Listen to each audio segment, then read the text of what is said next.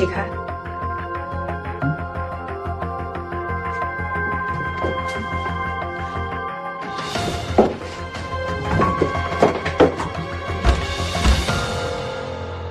林浩，你不是说家里没有人吗？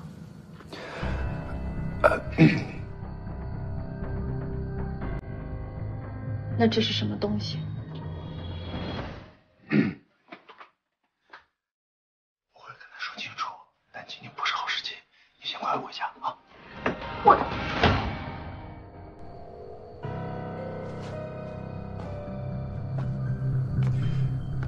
轩轩，你别生气啊，是他纠缠我的。当我傻吗？真的，我今天叫他来就是要跟他提分手的事情，他一进门他就不肯走了。哦，我们什么都没有发生啊，什么事都没干。你说好巧不巧，就碰到你今天回来，我这不是怕你误会嘛，我就让他先躲起来了。你想想，这么多年我是怎么对你的，我心里人清楚。你别碰我！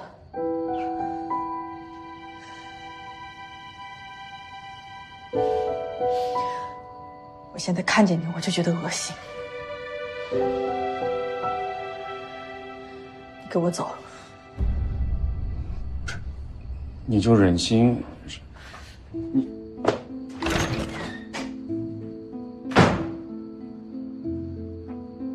学院，你真的要？好，我走。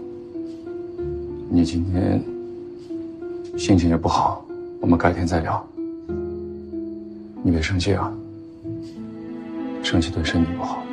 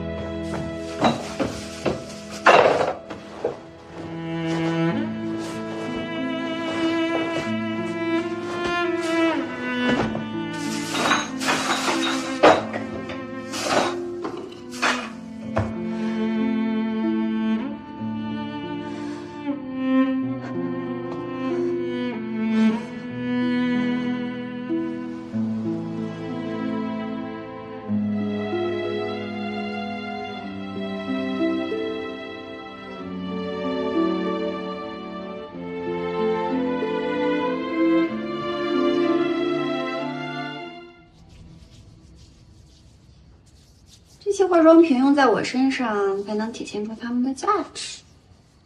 你不用也好看，我就喜欢天天看这样子的你。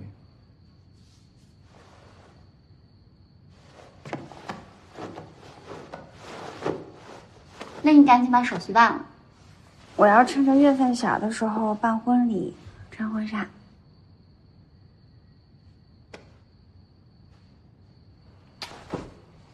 好。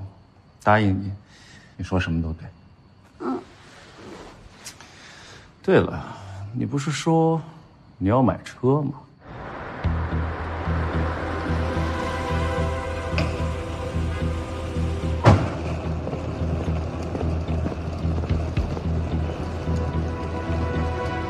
是啊，我表哥认识宝马 4S 店的销售，跟他们关系特别好，说是八七折就能拿下来。我看好了一辆叉一，白色的，特别好看。你女孩开那么大的车？啊谁说我买车要自己开的？我是买给你的。真的假的？真的。你呢？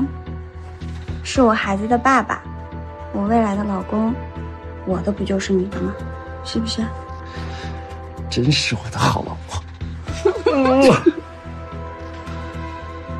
那你答应我的事儿呢？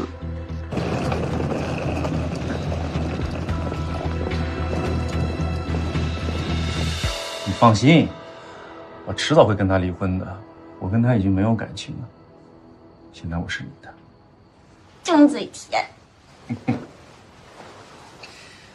那些化妆品，只要你喜欢，我全给你买新的。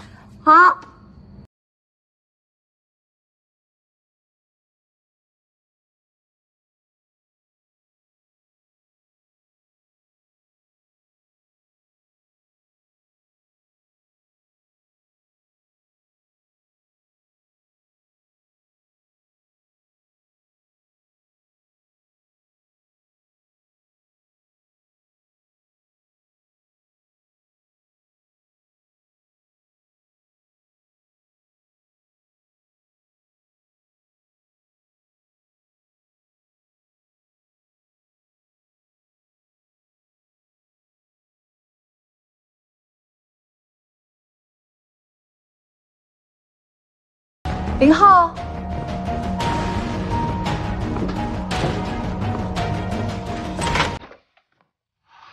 轩轩，你回来了。你不是明天的飞机吗？怎么突然回来了？我临时改了航班啊。改航班怎么不跟我说啊？谁让你挂我电话呀？怎么，我自己的家提早回来不行吗？我不是这个意思。家里好乱啊。来客人了？嗯，客人？什什么客人啊？没有没有客人啊。你你坐那么长时间飞机了，要不要先洗洗个澡？也好。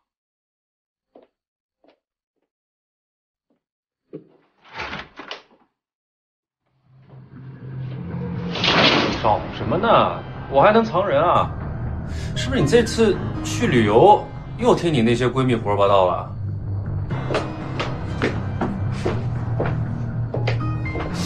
陈轩轩，你有完没完啊？大半夜回来发什么神经啊？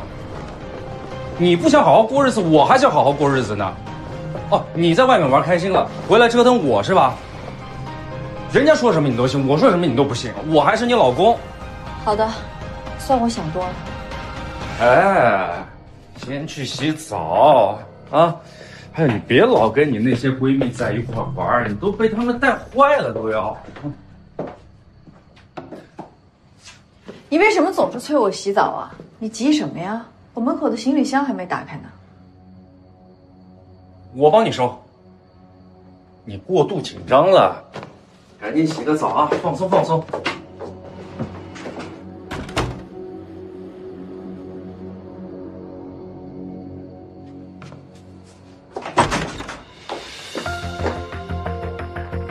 慌什么？没有。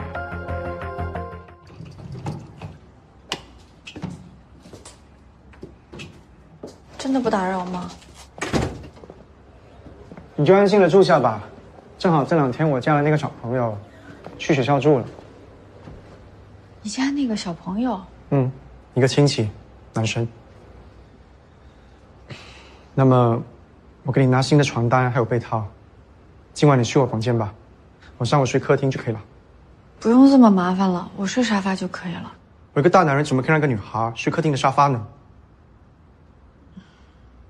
我也有点累了，我方便在你这儿洗个澡吗？当然可以，等一等，给你拿新的沐浴露还有洗发露。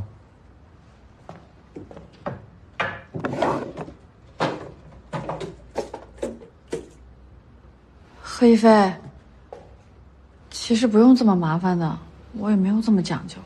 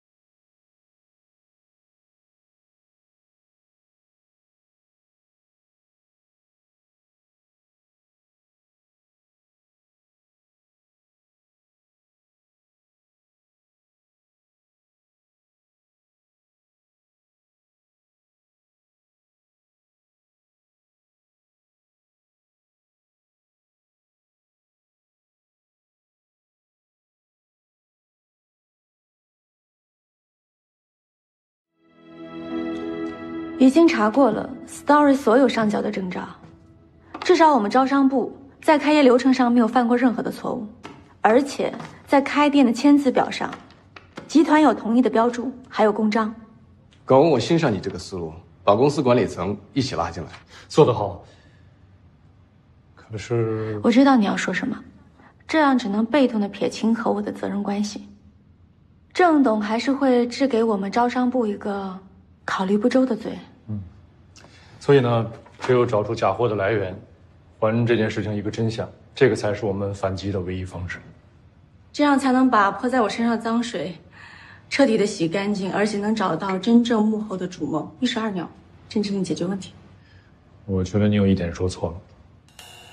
嗯，哪儿错了？我觉得广文说的很有道理啊。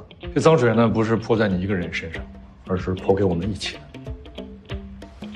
因为现在呢，我跟你是站在一条船上。哎哎，聊公事儿就聊公事儿，你们俩能不能在意一下我的感受？我现在为了万丽的事儿已经殚精力竭，还要被你们俩的狗粮精神暴击。闭嘴！你跟 Story 的老板聊的怎么样？老板确定了，说是所有的进货渠道都是没有任何问题的，而且在事发之后呢，他把后仓所有同款的包都拿去品牌做了质检，确认都是正品。那只有卖出去那一只是假的，说不过去啊。后仓的监控是有死角的，所以只有一个可能，什么可能？你们俩打什么哑谜呢？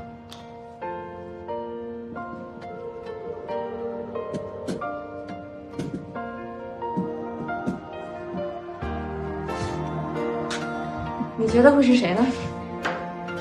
你觉得呢？什么意思啊？两位高知神仙，还有个人坐这儿呢。Hello，能不能有人费点心思给我解释一下？这不是很明显了吗？我为什么要自找麻烦帮你们？我真闲得慌。哎，整件事情的关键呢，就是假货的来源。知道了这一点，就等于抓到了事情的突破口。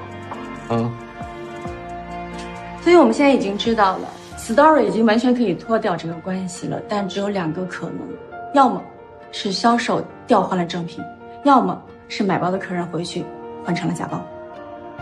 可那个客人连包装都没打开过，那就只剩下一种可能了。销售换包。而且客人不可能不知情，很可能是两个人串通在一起上演了一出大戏。